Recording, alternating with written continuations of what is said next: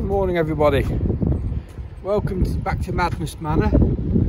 Oh, it's uh, 26th of February and it's supposed to be 9 degrees centigrade with about 5, 6 degrees centigrade of wind chill I think. It's a raw one and it's windy as mad. Windy as anything. Anyway, I've got just the thing for you.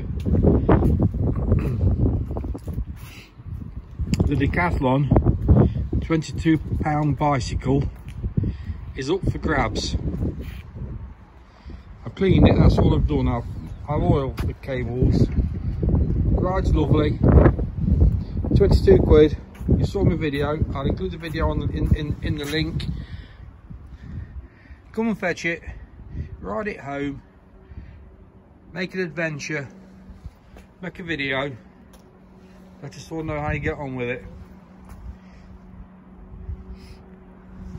Oh, you saw my video. That was a great adventure on it, that was. Now it's time for somebody else to take it away and do their own thing with it.